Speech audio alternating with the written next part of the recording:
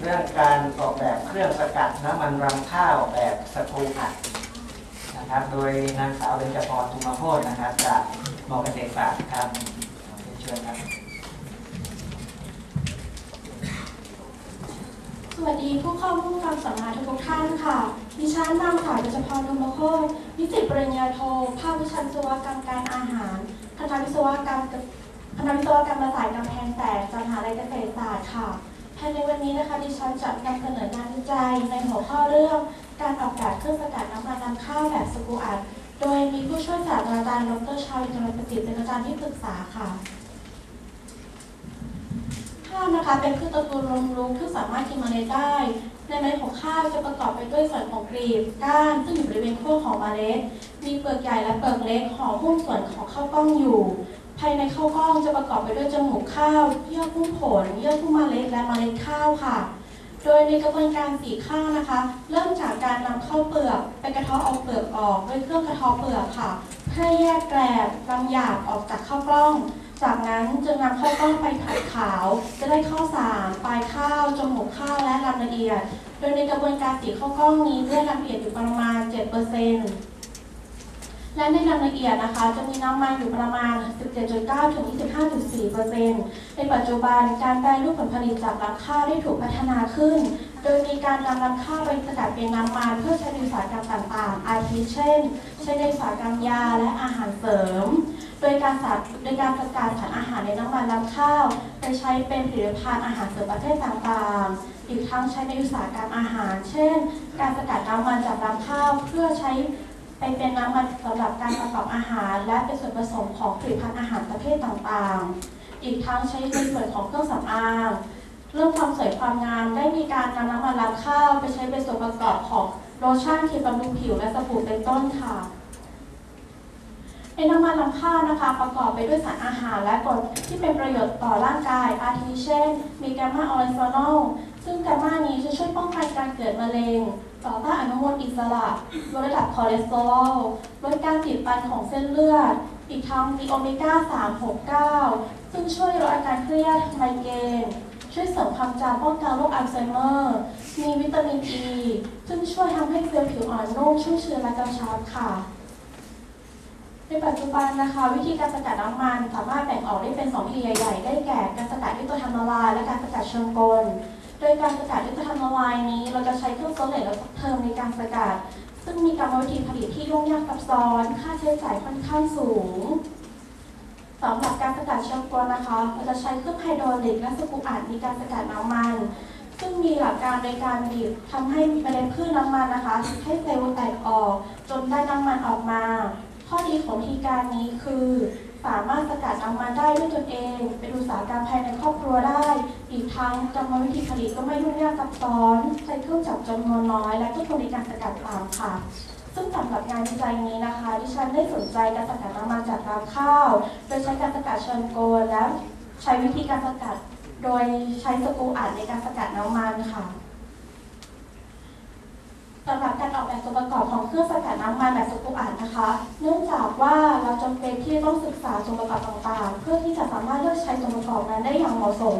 โดยการศึกษาส่วนประโดยการศึกษาชนิดของสกรูซึ่งแบ่งออกเป็น 5 ชนิด คือ ชนิดแรกคือเป็น state screw shaft สกรูชนิดนี้จะมีขนาดของในมิเตอร์ของเพาและระยะพิษที่เท่ากันตลอดความยาวของสกรู อัตราการเพิ่มขึ้นของความดันจะเพิ่มขึ้นเป็นเส้นตรง ถัดมาคือสกรู with tapered shaft สกรูชนิดนี้จะมีลักษณะของ diameter ของเพลาที่ไม่คงที่ แต่ระยะ pitch จะเท่ากันตลอดความยาวของสกรู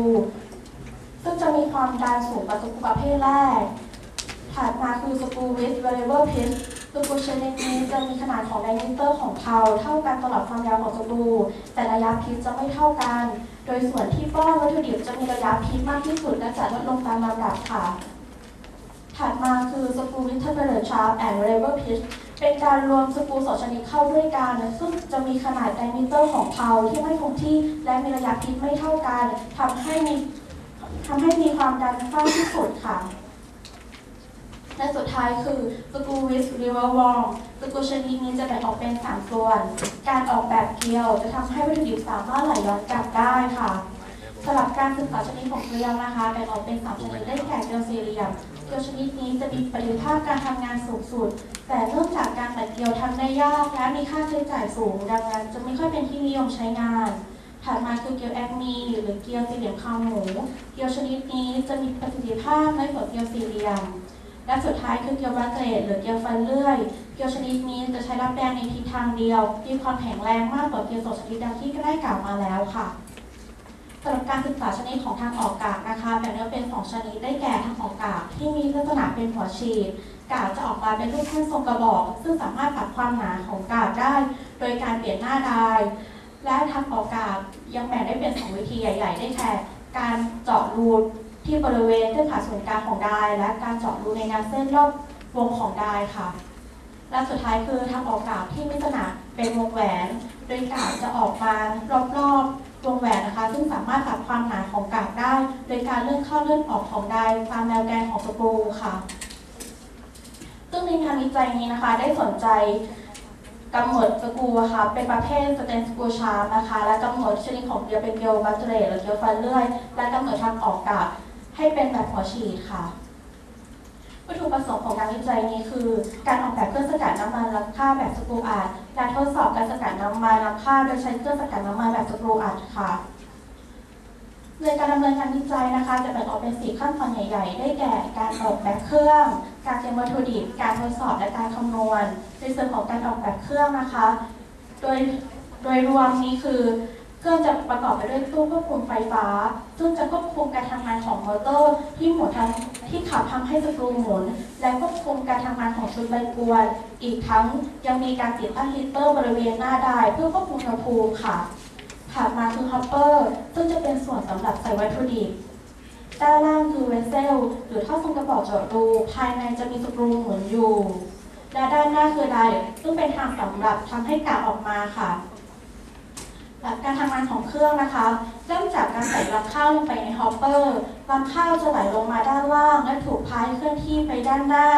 ระหว่างนี้รำข้าวก็จะเกิดการบีบอัดทำให้น้ำมันไหลออกมาจากรูที่เจาะไว้รอบๆผนังของ vessel และกากก็จะออกมาบริเวณหน้า die ในปริมาณที่จำกัดค่ะสำหรับการออกแบบ hopper นะคะ hopper จะถูกออกแบบให้มีขนาดเป็นรูปทรงกรวย ด้านบนจะติดตั้งมอเตอร์เกียร์ซึ่งหมุนทำให้วัตถุดิบสามารถไหลลงมาได้อย่างสะดวก และสำหรับการออกแบบสกรูอัดจะกำหนดสกรูเป็นชนิด standard screw shaft ซึ่งมีขนาดของ pitch และ diameter ของเพลาเท่ากันตลอดความยาวของสกรูและใช้ชนิดของเกลียวเป็นเกลียวแบบฟันเลื่อยซึ่งด้านหนึ่งจะต้องฉากกับแกนสกรูอีกด้านจะเอียงทำมุมกับแกนสกรูค่ะ สำหรับการออกแบบ vessel นะคะ เนื่องจากอนุภาคของรำข้าวมีขนาดเล็ก ดังนั้นเราจึงจำเป็นต้องหาขนาดอนุภาคของรำข้าวเพื่อที่จะสามารถเลือกใช้ขนาด diameter ของรูระบายน้ำมันได้อย่างเหมาะสมค่ะ เริ่มจากการนำรำข้าวนะคะ ไปหาขนาดด้วยเครื่องคัดแยกขนาดแบ่งขนาดอนุภาคออกเป็นสองส่วน ได้แก่อนุภาค ที่ไม่ผ่านตะแกรงร่อนเบอร์ 25 mesh นะคะ ซึ่งมีขนาดเท่ากับ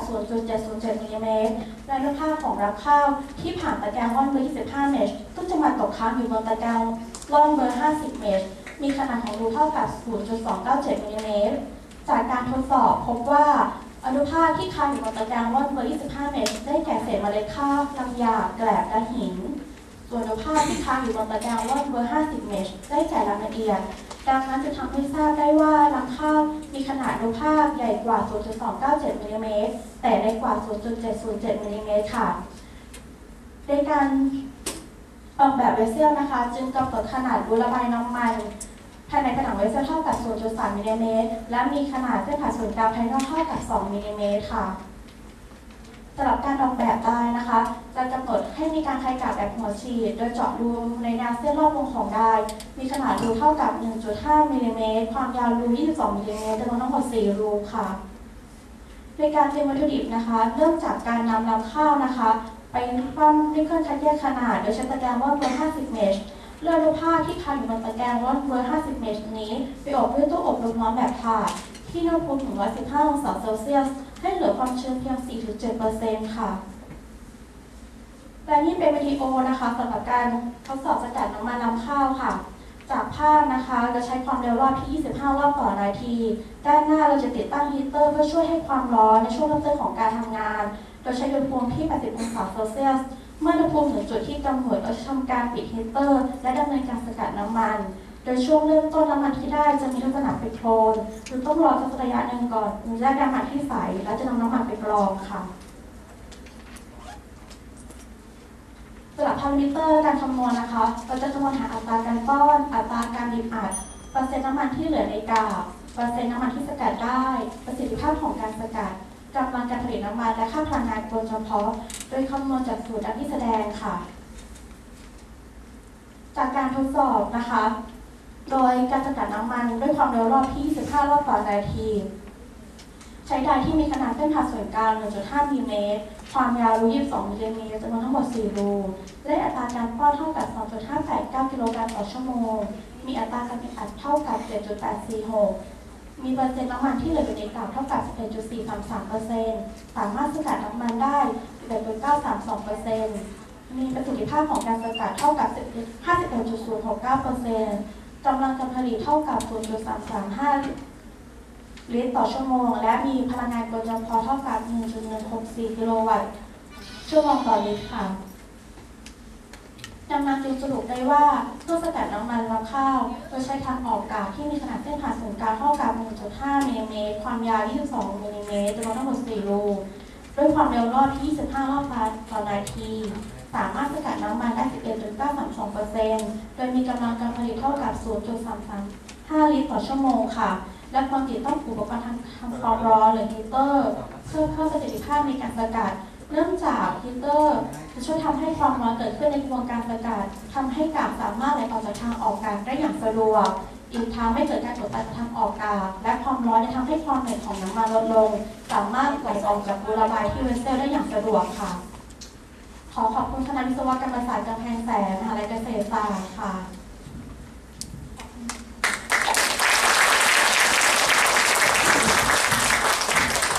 ท่านใดมีข้อสงสัยแล้วก็เสนอแนะสามารถสักถามได้ค่ะ ครับ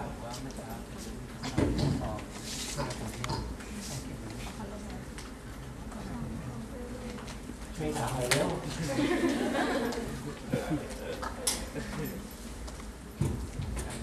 ได้ครับคนละถามหนึ่งครับไม่ทราบว่าวิธีที่เราเช็คว่า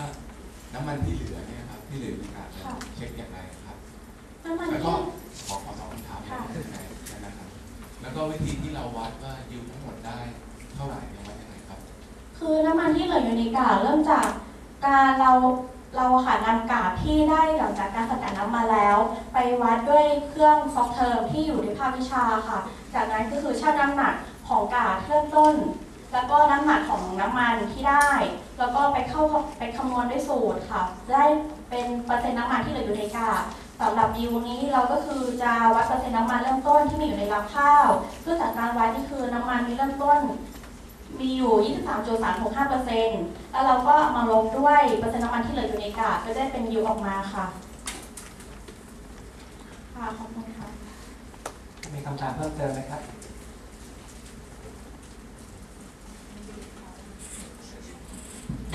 พอดีผมเห็นที่เวสเซลจะเราเจาะรูระบายค่ะน้ำมันใช่ไหม ครับพอดีจำนวนเจอย่างเงี้ยระยะห่างมันไม่มีผลไหมต่อการที่ไหลออกของน้ำมันนะครับก็ถ้าจากจากการที่ศึกษาแล้วก็ทดลองมานะคะ ก็คือระยะระยะห่างระหว่างรูอะค่ะ ก็คือมีผลต่อการออกของน้ำมันยิ่ง เราต้องเข้าใจว่ายิ่งรู้มากความดันที่เกิดขึ้นในระบบอะจะลดลง แต่ว่ามันก็มีข้อดีคือจะทำให้น้ำมันสามารถระบายออกมาได้มากขึ้น ไม่อย่างนั้นน้ำมันก็จะไปค้างรวมอยู่กับกาที่บริเวณด้านหน้าไดายอะค่ะ แล้วในการทดสอบนี้เราก็พบว่าระยะห่างที่เราคิดไว้คือ 10มิลลิเมตรซึ่งสามารถทำการทดสอบได้ แต่ว่าในช่วงของ บริเวณที่น้ำมันจะออกมาจะอยู่บริเวณส่วนด้านหน้าค่ะ ซึ่งส่วนด้านหลังนี้คือบริเวณช่วงป้อนนี้คือแทบจะไม่มีน้ำมันออกมาค่ะ ซึ่งเรามีข้อจำกัดเรื่องงบประมาณในการสร้างตัวเวสเซลค่ะ เพราะฉะนั้นเราจึงไม่ได้ทำการทดสอบว่า ถ้าเพิ่มระยะห่างระหว่างรูหรือว่าลดจำนวนรูลงนี่จะมีผลยังไง แต่ว่าจากการวิการวิจัยต่างๆ นี้ก็ทำให้ทราบว่าตัวตัวนี้ค่ะมีมีผลต่อปริม ได้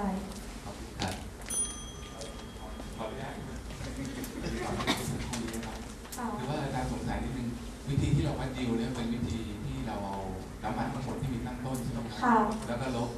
ลบส่วนที่สูญเสียไปใช่ไหมค่ะอันนี้อาจารย์ก็เข้าใจว่านั่นคือวิธีทฤษฎีใช่ไหมครับ ในส่วนที่ได้ออกมาจริง ๆ เนี่ย เราที่มันเป็นโคลนนะครับเราทำยังไงให้ได้น้ำมันส่วนที่เป็นน้ำมัน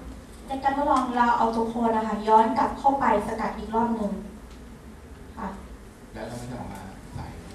ออกมาเป็นเป็นน้ำอะค่ะเป็นน้ำมันค่ะ แต่เนื่องจากเอ่อขั้นตอนการทำความสะอาด ในการทดลองแต่ละแบบอะค่ะ เราจำเป็นที่ต้องมีการเผาไฟเพื่อทำให้รูระบายน้ำมันตัวเนี้ยค่ะ ไม่เกิดการจุดตันแล้วก็ใช้ตัวลวดอะค่ะยัดยัดเข้าไปในรูอะค่ะ จะทำให้เมื่อทำการทดลองหลาย ๆ ครั้งเนี่ยตัวรูก็จะขยายมากขึ้น ซึ่งจะทำให้สุดท้ายเนี่ยจะมีจะมีตะกอนบนซึ่งส่วนเนี้ยคือถ้าทำการวิวิสกัดจริงๆอะอาจต้องคิดค้นหาวิธีการทำความสะอาดเครื่องใหม่เป็นที่ประสิทธิภาพใช่ไหมครับอาจารย์ขอเสนอแนะนิดนึงนะครับค่ะกรณีที่มันเป็นแบบนี้เนี่ยให้เราลองพิจารณาดูว่าจะไปเซนติฟิวได้ไหมจะได้ได้ยิวที่แท้จริงนะครับก็ในการทดลองนี่คือเราก็นำน้ำมันที่ที่ได้ค่ะไปแยกด้วยเซนทริฟิวอีกทีนึงค่ะ แล้วก็ได้ยิวตรงกับตามที่เราคำนวณค่ะอ่าสวัสดีครับเอ่ออีกผมมีสองคำถามเมื่อกี้ได้ค่ะได้คำตอบแล้วคำถามเกี่ยวกับรูนะครับค่ะทีนี้ผมอยากอยากทราบว่าไอ้ความยาวของสกรูนะครับค่ะมันมีผลไหมครับในสมการการออกแบบมีไอ้ตัวความยาวเกี่ยวข้องมีค่ะ แล้วผู้ใจได้ได้ได้คำนวณมายังไงถึงได้ความยาวเท่านั้นนะครับ ความยาวนี่เราดูจากงานวิจัยที่เขาได้ทำการศึกษามาแล้วค่ะ แล้วก็มาปรับเปลี่ยนให้เข้ากับงานวิจัยเราโดยเรากำหนดที่เป็นตัวกำลังการผลิตนะคะแล้วตัวนี้เราก็เลยกำหนดเป็นความยาวของของสกูว่าในช่วงระยะความยาวเท่านี้ สามารถได้กำลังสามารถผลิตน้ำมันได้ประมาณเท่านี้ค่ะ แล้วทีนี้คือในช่วงของของงานวิจัยเนี่ยเราได้ ได้ทดลองสกรูอีกแบบหนึง่งซึ่งสกรูประเภทเนี้ยคือจะยาวกว่า แต่ว่าเครื่องตัวนั้นก็คือได้พังไปแล้ว ก็ก็เลยได้ออกแบบสกรูใหม่ให้สั้นลงกว่าเดิมค่ะ ครับ ครับ ขอบคุณมากครับ ผมขอสรุปจบแค่นี้นะครับค่ะขเพื่อบอเวลาคุณทุกท่านค่ะ ขอบคุณมากครับขอขอบคุณท่านอาจารย์วรศักดิ์สมตนนะคะ ที่ให้เกียรติมาเป็นประธานในการนำเสนอช่วงนี้ค่ะ